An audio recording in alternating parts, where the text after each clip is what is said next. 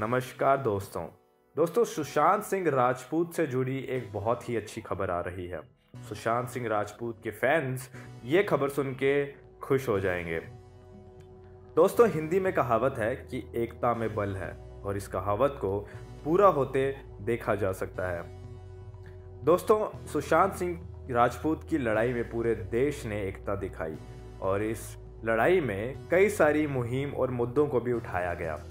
इसमें से एक मुहिम थी या एक मुद्दा जो उठाया गया वो था नेपोटिज्म का।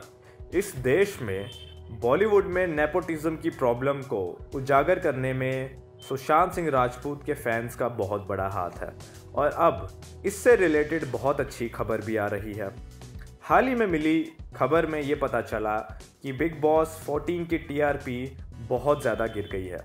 जी हाँ दोस्तों सलमान खान के शो बिग बॉस 14 की टीआरपी बहुत ज़्यादा गिर चुकी है। और सूत्रों की माने तो ये टीआरपी इतनी ज़्यादा गिर चुकी है कि ये शो बंद होने के कगार पे आ चुका है। जी हाँ आपने बिल्कुल सही सुना दोस्तों। इस शो की टीआरपी और बिज़नेस इतना ज़्यादा घाटे में चल रहा है कि इसके मेकर्स इसको बंद करने की सोच रहे हैं। और इस सब का जो परिणाम है, वो ये हो सकता है कि आपको आने वाले दिनों में ये शो टीवी पर दिखे ही ना।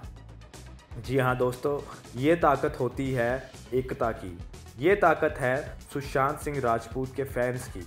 अगर ये चीज़ पॉसिबल हो पाई है तो वो इसीलिए हो पाई है क्योंकि सुशांत सिंह राजपूत से जुड़े लोगों का और फैंस का गुस्सा है। इस गुस्से में इतनी ताकत है कि टीवी का one of the biggest one of the most viewed show Bigg Boss 14 को बंद करने के कगार पे ले आया है। दोस्तों, आगे इसमें जो भी अपडेट होगा, मैं आपको अपडेट करता रहूँगा, लेकिन फ़िलहाल के लिए ये हमारे लिए बहुत अच्छी खबर है। नेक्स्ट टाइम लाइव से आकाश की रिपोर्ट।